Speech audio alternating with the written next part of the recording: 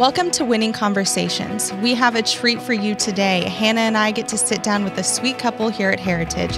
Natalie and Pheyland Barthen have been attending Heritage for five years and serve in various areas, including our preteen department, the worship team, and security. They also have a thriving ministry called Strong Tower, an evangelistic music ministry where they are on the road bringing the anointing everywhere they go. Let's jump into this conversation and hear their story. Start with your story. How did you get together? How did y'all get involved with ministry? Start at the beginning. Okay. Um, well, I grew up in ministry. My dad is a pastor, so I grew up as a pastor's kid. PKs represent. Right. um, so I was on the worship team. I started singing probably when I was about three years old and just grew up my entire life singing and being on the worship team.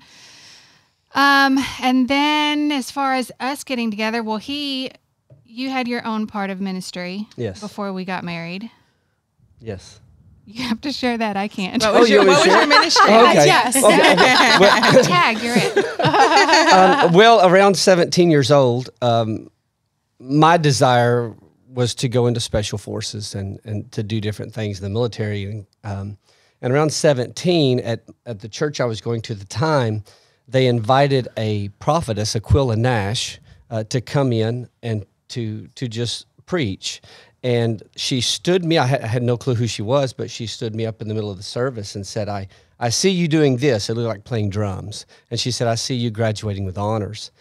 And immediately my heart switched from military to ministry. And that's when I went out and bought a drum set because that's what I thought that it was at the time. And uh, about a month later, no lessons, I was on a worship team playing drums. And then the Lord just started using me in music and then getting into the dulcimer field. So around 17 years old, songs started coming to me uh, melodies, and, and I would go out and minister the gospel. And so that's what I did. Would go to coffee shops. Coffee shops were big in that day, and so you would just go to different coffee shops, different venues, and uh, play and sing and have altar calls. And that's what I did for a while until we met, and then we just merged it together and kept on going. No lessons. No Still lessons. Nice. No lessons. Very nice. Um, and how how did y'all start your ministry? Um, Strong Tower. First, let me just explain what Strong Tower is. So, Strong Tower is a ministry geared towards youth and young adults, and it's to disciple them in the Word of God, but also to train them up in life skills cooking, cleaning, um, changing the oil, changing a tire, just basic things that kids and young adults don't know now because they're not taught that anymore. Um, so, that's what Strong Tower is as a whole.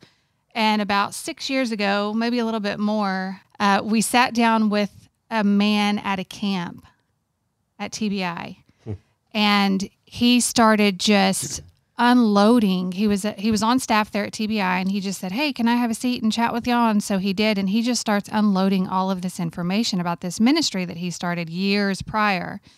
And we're sitting there listening to it and thinking in the back of our heads, this is exactly what we want to do with Strong Tower, which at the time I don't even think we had a name. It was just the ministry we wanted to do.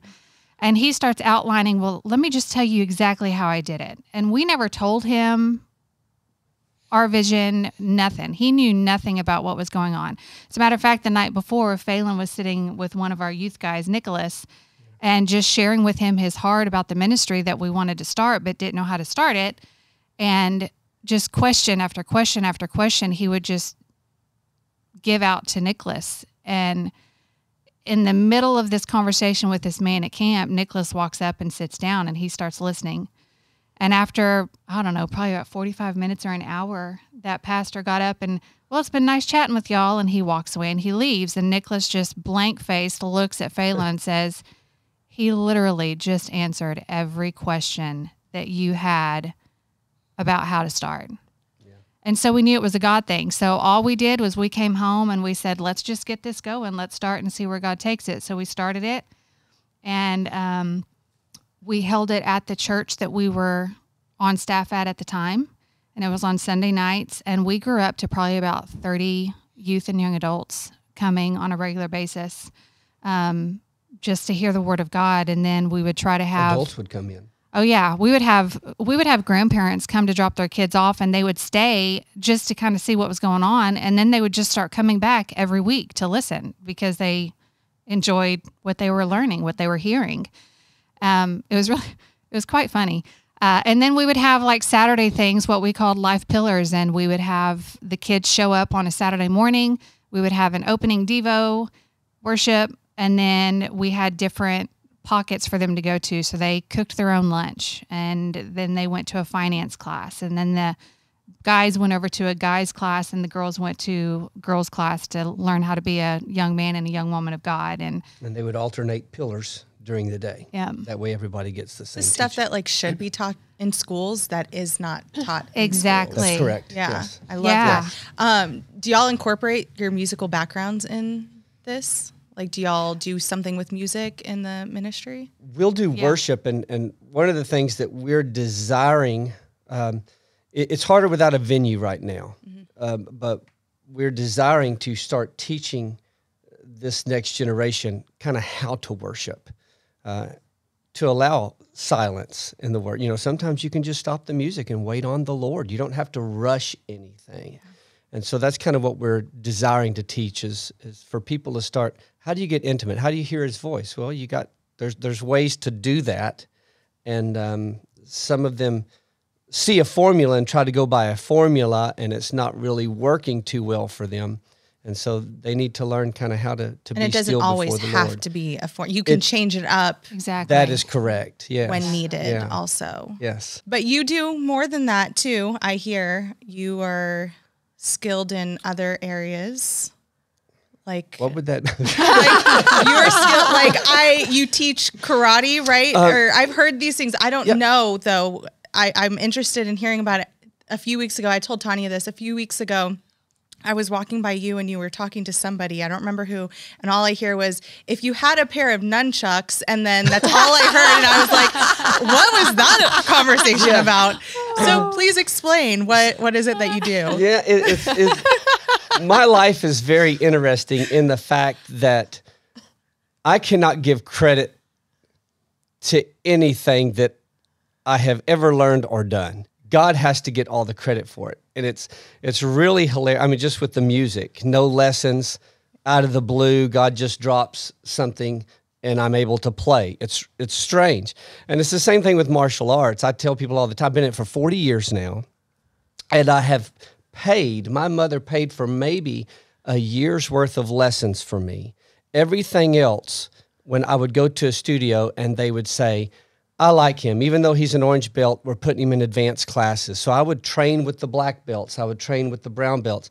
And for 40 years, it has been that way. I have not paid for maybe a year and a half of martial arts out of that. And so yes, I started. I started with uh, when I was around seven years old and started American karate. Then went into Aikido Jiu-Jitsu and uh, Taekwondo. And so I've got some high rankings in that. If if you want to say high rankings, because you're always learning. You're never really you never really arrive at anything with that. And and then the Lord started opening doors for me to teach security teams. So I've taught several church security teams and trained them. Uh, women's self defense, private self. I, I, my favorite is is is teaching self defense. Yeah. I love teaching self defense because martial arts is a long term art. It's not a sport, um, but you can go in and teach self defense, teach people awareness, teach people how to um, uh, live and survive. You know, you might not win the fight, but you will live because if you're not trained, then you're just going to lose it. But at least if you're trained, you can at least survive it. We need to get Wow, Hannah, yeah. We need to get on, in on some of those lessons. I thought you were going to say. Hannah needs to be in on some of those No, lessons. I was like, oh wow, Me and Hannah both. We need to take we some need of those some of lessons. those. Yeah. Yes, we need to survive, Andi. We do need to We've survive. got the Holy Spirit on our side, but we need we need some wisdom and how to apply some uh, tactical things. I like that. yeah, that's awesome. So your journey into the ministry, um, people often see the fruit and not the roots. Has it always been smooth and easy transitioning into Is that your even a ministry? thing? Yeah, Is you that know. even a thing? I don't think that's a thing. Gosh, the don't think that's stories. Or how do you, okay, a better question would be when things get rocky in your ministry or in your life in general, what do you do to smooth things out, to get through the storm, to get past the rocky seasons. That's good. We wait. we don't make a move until we know that we know that we know. And, and I'm the guy personally that the Lord has to kick in the rear to get me to move a step. Um, that's just who I am. Some people will step out on faith, step out on faith. I believe in stepping out on faith, but I also believe that you don't step out on faith until you hear what you need to do first. Until you get your word from God. Yes, yes. And so, um, if not, sometimes you can go before the Lord, Yeah. and the Lord said, You know, I didn't tell you to go. It's failing because I didn't tell you to go. But once you know that you know, then, you know, so I say wait.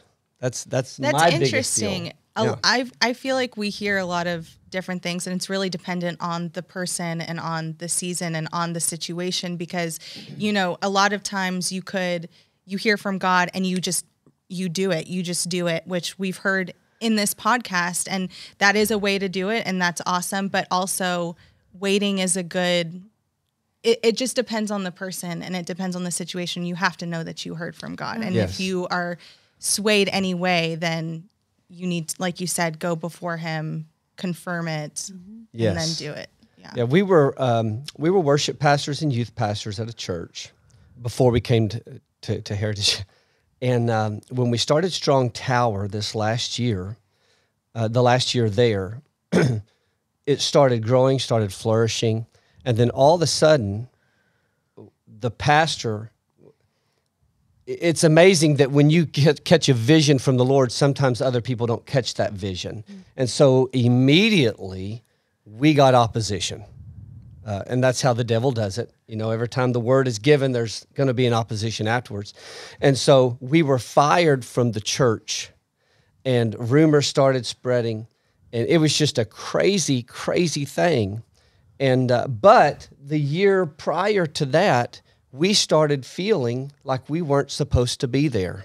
And the Lord started preparing things. He woke me up in the middle of the night and said, "Go get some recording equipment and start recording again." I mean, it was it was just clear as day. And so I told my wife. So we started doing that. And so we started moving forward. So for the first year of of the weird feelings of we don't really need to be here yet, but we don't feel relate released to leave, and then all of a sudden, bam, you know, uh, we're fired. So I freaked out. Not gonna lie. I mean, this is testimony time. So I freaked out because I grew up with a dad who says, you know, you don't work, you don't eat and uh, you get up in the middle of the night and he was construction worker and he'd wake me up you know at six six years old and say you're coming with me at four o'clock in the morning and i worked my life that's how i worked and so to not have a job supplied for me this was the first time ever that no job was supplied and i was praying to the lord what do i do what do i do and i took a rushed job and uh, it was like joseph being in a dungeon i mean it was just horrible and But so- even moved through that because Oh, we needed favor. we needed X amount of money to just survive, and Yes. they were going to pay under that. And whenever he got in there, they said, "You know what? We want to pay you this much money to come in and work." So Favor. yeah, God worked Favor. through it. But Yeah, just favor even in, in the places that you don't want to be. God does it. He's amazing. And so um, at, that, at that time, I said, honey, I just can't keep doing this. And she said, well, let's just quit your job and let's step out and let's wait and see what God has in store. And that's exactly what happened. So we stepped out. I quit the job, stepped out, and I started calling churches so that we could go and minister youth camps, churches, you name it. And I called around 60 and every one of them but one shut me down. We don't want you, not our type of music. We already have a worship team. We have this, we have that. And you know, you get put down over and over and over again. It plays a toll on your spirit, you know, and on your mind. And so I was out on the fence, literally on a fence, sitting and praying to God. And for the first time ever, I said these words I said, God, I quit. I said, I don't quit you, but I quit the ministry. And I have never quit anything in my life. That those words don't come out of me. And right when I said that, I got up and started walking back to the house, and I got a phone call. And we had met some evangelists uh, named the Bullocks. They're out of Daystar, and we met them. And, and about a month or so prior, he said, "I've got a guy that I want you to get in touch with." And he said, "I'll, I'll just have him call you." He said, "I think you guys are going to hit it off." And so I get up from the fence. I'm walking back, and I get a phone call, and it was the man that he wanted me to talk with, and his name was Bill Nash. And I don't mind saying these names because these guys are amazing, you know, men of God. And uh, Bill Nash has Champions Kids Camp. Uh, he helps kids who've been through traumatic events. And he said, "How you doing?" And just joyful man. And I, I told him, just I'm a very truthful guy. I told him how I was feeling, and he said, "I hope you get a hundred no's." He said, "You keep doing it. This is for God, and this is for your family. This is what you're called to do. You keep doing it." And he, if it was not for that phone call at that timing, I uh, don't know if we'd be here today. Um, God knows exactly what you're going through. You, you can be all alone. It doesn't matter. Just like Nathaniel underneath the tree, Jesus said, I saw you underneath that tree. And God saw me at that fence, and He knew what we needed. And that got me back into the ministry, got us back going again. And I looked at my wife and I said, I'm not able to call churches anymore.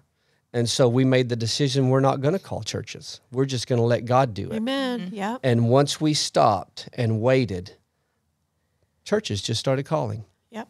And uh, we've been going for five years ever since.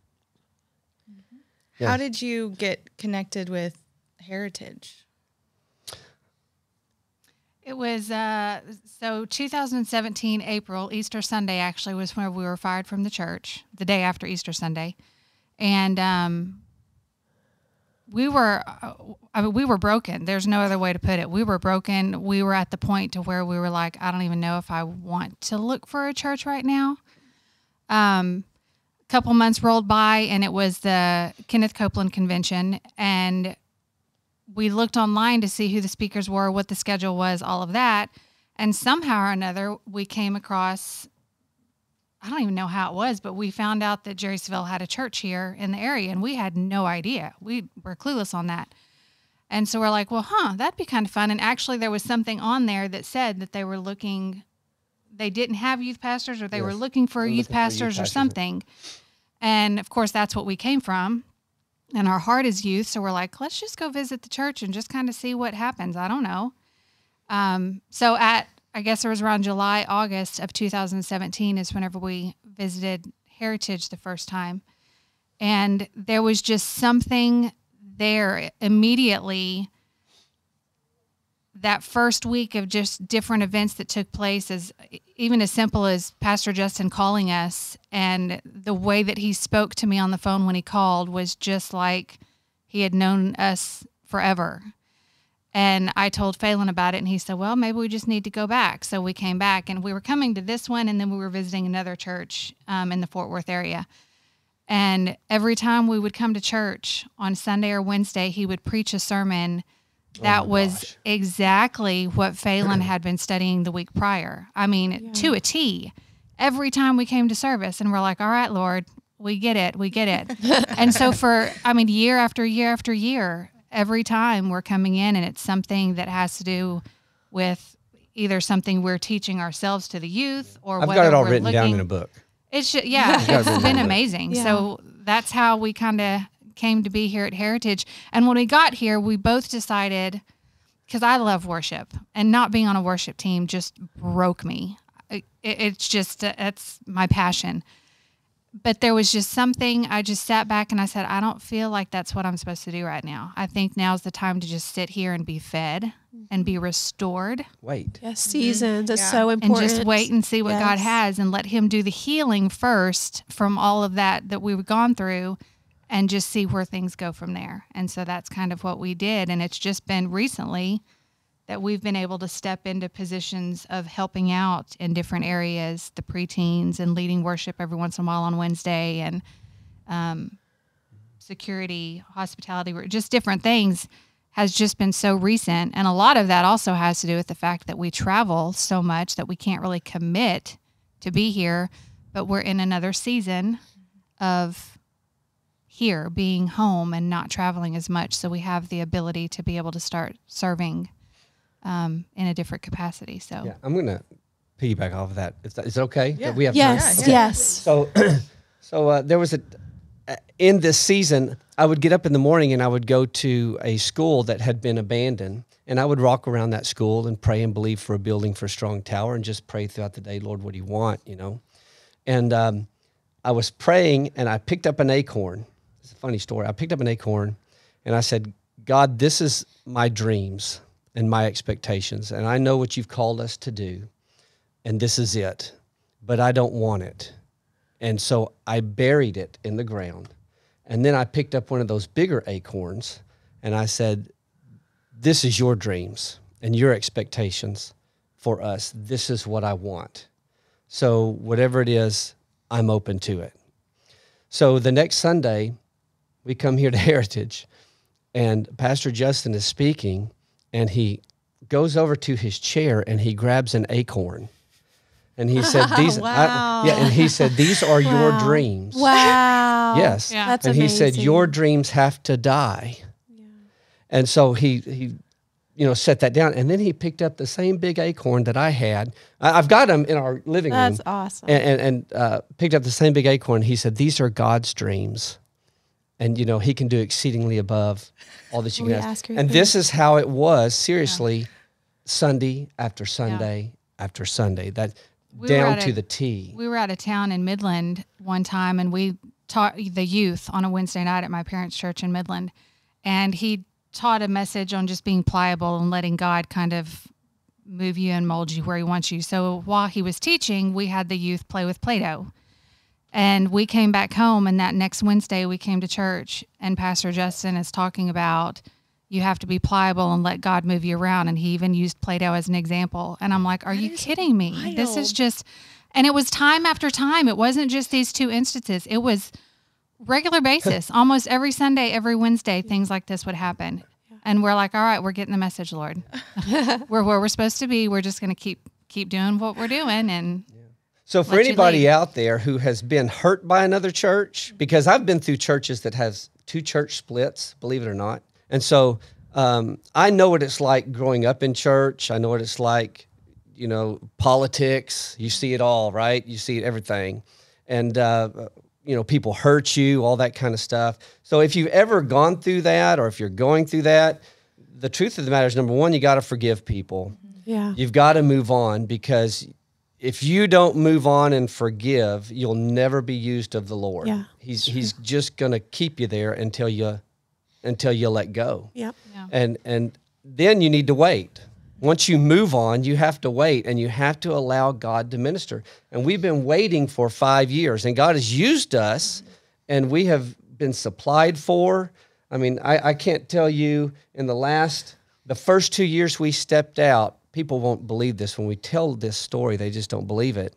You know, our rent yearly was more than we made that year. We I made a believe it. little. I 100% believe it. We Oh, yeah. lived. We This is my lived over a little t- of ten thousand dollars a year Yeah. for the first two for the first two years. Yep. Two boys traveling, singing. we went to Korea.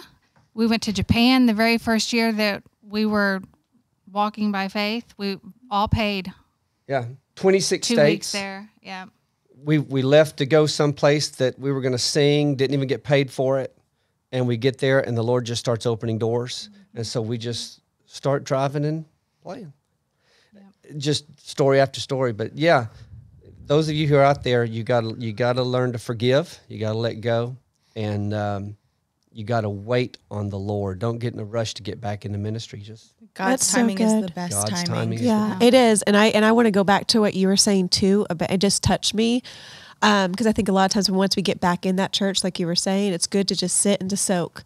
It's important that we listen to the season that God has us to be in. Because I remember when we first came, a lot of people were like, "Oh, they're going to get in there and they're going to serve. They're going to serve. They're going to serve." But for the first year, I mean. God told us to sit and to soak. And I truly believe it's like what our hearts needed because sometimes when you pour out, and you pour out and you pour out because you're doing ministry all the time, you need to be poured Yes. back into.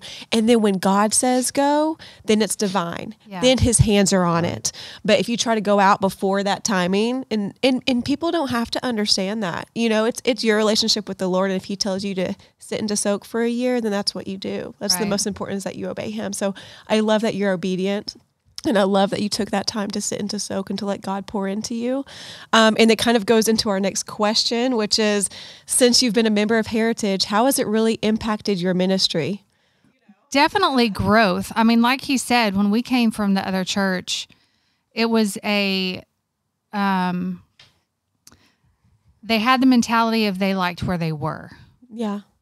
They had the mentality of I don't know that I really want to grow too much bigger because I like where we are right now. This is comfortable. You, and you see that a lot of Yeah. places too. Yes, you know? absolutely. Yes. and you know we would we would talk to them about growth we would talk to them about different things to do to be able to grow a little bit more and get youth in and get this going and that going and again always hit with opposition well how are you going to get the money for that well where are we going to put them when they, we get them there well where are they going to park because we have a small parking lot it was all such small minded and so it it got to the point to where we You're trapped. yeah, you're trapped. And we didn't even know how to dream big anymore because every time we would, we were hit with reasons why you can't. Mm-hmm. So coming to Heritage and just being fed, God's big enough. Yeah. God's can make anything happen if it's His will. And just that mindset for me alone. I know the other day, uh, Pheyland and I were sitting and talking about some things, and I said, you know, I was thinking the other day that the way things fell apart at our old church stunk. There's no other way to put it. It was not right. It was not good. But if that hadn't happened, we would not be where we are today. And the Yeah. growth that we have had over these past five years in so many areas of our life, Yeah. we would not have been able to experience because we would still be stuck at that church mm-hmm. and we wouldn't have the mindset that we do now that we're taught every Sunday and every Wednesday when we come to church. Well, it's like here. Joseph. You know, Joseph was over a house and he was over land and he was over people and he could have stayed there. But if it wasn't for him being accused of something that he didn't do, and now he's thrown into a prison, he would have never been second in command over Egypt. So there has to be a point of, of growth in that area. And now he surrounds himself with kings and with princes. And it's the same thing here. You know, you get surrounded by people of faith. they have bigger dreams than you, bigger expectations, mm-hmm. and it makes your expectations and dreams bigger because you understand that God's not a God who limits himself. It's shifting perspectives too. Yes. Yeah. Whenever you're in those hard moments, those hard times, you could doubt a lot of things. But if you shift your perspective, like you said, you realize that if you hadn't had gone through that, then you wouldn't be where you are or you wouldn't have experienced this growth. It's mm. in the moment, it can be hard to realize that. But if you s- shift your perspective and think, there's so much that I could, you know, now the possibilities are endless. I can go anywhere, I can do anything, I can, but you have to have that trust and Right. the ability to hear from God and to know that He's got you and know His timing is good and it Perfect. will Yeah. come whenever it's supposed to. Yeah. right. Amen. But this is now your testimony that you Yeah. can share with other people and inspire them and, yeah, move Yeah. them. Yep. and that we serve a limitless God. Yes. We serve a limitless God. I know when, okay, Hannah grew up Baptist, okay? Love my Baptist folks, love my Baptist people, but that was that was all I knew. And I remember going into my senior year, I told myself I, I heard the Lord saying, I'm more than this. I've got more for you. Think of me outside of the box of what you typically know or what you're typically around. And that's that out of the box thinking. And that's the same thing that you guys were feeling within your church congregation. It brought me back to that time. And right around that same time, my senior year is when I met, like right after that, I met Terry. And I learned word of faith. And I'm like, wow, what is this? You know? And so um, I love that. And I pray for the church that you came from that they get that same out of the box mindset so that they can continue to grow and to thrive into what God has for them. Yeah. Because Right. He's limits off, you That's know? right. So we're going to kind of switch. We're going to kind of switch around and go on to our next subject, which is you have two wonderful sons. Yay! Tell us the joys and challenges of raising kids. Now, I don't know your sons like a ton, but they I do see them talking to Terry occasionally, and I always see them in my social media notifications, like heart, heart, heart, heart, heart. I'm like, oh, I know that kid, you know. But anyways, they're so sweet. You're raising such great, great children of faith. Um, so tell us a little bit about you know mom and dad life with them. Oh wow, it's it's always busy. It's always busy because yeah, you homeschool, Yeah, right? we we do. We've homeschooled pretty much from the beginning. Our oldest, Kedron, um, he went to public school kindergarten for the first half, and at December break, we said we're done, and we pulled him and started homeschooling. wow, that's amazing. So we've homeschooled since that point. Um, it definitely has its challenges. yeah. How do you balance it all between carefully. homeschool and ministry travel and with you, business? correct? Absolutely. Yeah. Yeah, Wow. they travel with us. Um, I mean, you know, it's just honestly, it's a trial and error kind of thing a lot of times, and it's a lot of grace. I have to give myself a lot of grace because I don't want to even say every day is not perfect. There's hardly ever any. There's never. A, I don't remember ever having a perfect day. There's always something. Uh, Well, our schedule is a schedule of no scheduling. Exactly. mean, which is really hard. Once you're That's on the you do road, it. yeah. Once you're on the road and you're going, Yeah. you have the expectation of oh, the kids will do the you know schoolwork in the Whatever. car. Mom, I want McDonald's. Pull over. yeah. yeah. I can't work in the car. I get Yeah. headaches. It makes me nauseous. It makes me this. I So can't. yeah, there's challenges in all of that. Yeah. I just want to say though, I didn't realize how young Kendron. He's our drummer, our Yeah. drummer here at Heritage. I didn't realize how young he was. He is good Thank mm, you. Thank you. for his. I mean, for his age, I was impressed. Like, Wait, what like is you. his age? I mean, has he Tell had everybody- lessons Let's like see, you? he's Or 15. He's 15. He'll be 16 in when February. was. Okay. I want to say he started playing when he was what six. No, no, no, no. Maybe younger? No, yes. He was about four when he first sat behind the drum set. Wow. And the very first time he sat behind the drum set and he started beating on knew it, it. it was just not knew. beating. Yeah, it you- was, you he had, Had rhythm. rhythm. We're like, wait, what? So I showed him some things, but he's he's a very visual learner. So I will show him something, and then he'll watch something on YouTube or you know her He'll brother's mimic it. professional drummer, so he'll kind of send a couple of lessons every now and then. But he's just he was playing for uh, the other church we were at for Strong Tower, and people would look around because he was so small. Couldn't even see him over the drum set. him They're behind like, the drum set. Oh, even And on people would Sunday think it was an adult Yeah. playing. I mean, it was just um, he's just Wow. got that gifting. God gave him a And gift and that's great that you all as parents leaned into that gifting. You know what I mean? It's so important that as parents we're looking at our child's gifts at a young age. And that's great that you immediately saw it, you leaned into it, and now look, he's playing for the for church. the church. Yeah. Yeah, Well, it's it- really cool. It's easy as an adult to get caught up in, well, I'm an adult. I already know this. I don't need no kid telling me, you know. But I'll be in the recording studio and I'm laying down a guitar track or whatever, and he'll knock on the door at like you know, 10 years old. Daddy, I'm really hearing this. Down, down, down, down, down, down, down, down, right there. And I'd say, yeah, whatever. You know, just I'm, I'm in the Yeah. middle of recording. And then I would stop after he'd leave. I'd stop and I'd go, you know what? I've got to take instruction and he's got a gifting.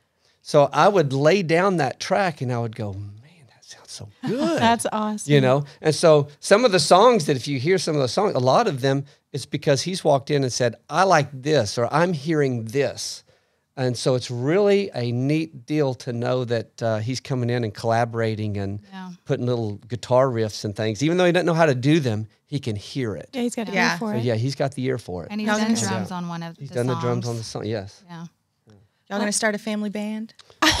well, it's kind know. of that way. We're trying to get Asher to Asher. do that. I was gonna ask, does he has he shown any interest in drums or anything like that? He's yet? shown interest in almost every instrument you can think of. Yes. Even really weird ones that Woodwind instruments, from especially. Indian overseas. flutes, Cool. things like Yeah. that.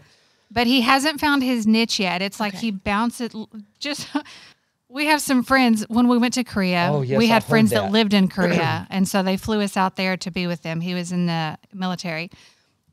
They would send us stuff all the time from overseas because they're just big travelers, Foreign and they would send us instruments, like weird, very weird instruments. And I'm like, what on earth? Well, there, Bugles. there's one in particular that Asher has just taken a liking to, and it's almost like a bagpipe. Yeah, it sounds kind of like a bagpipe and somebody strangling a goose. That's, probably the wrong. closest that you'll ever, you know. hilarious. So he goes and he gets that on Tuesday, I think it was. He's like in our bed, writhing in pain and moaning and groaning and all the stuff. And Asher goes out on the back porch and he's just strangling the goose on the back porch, which is right there by our window.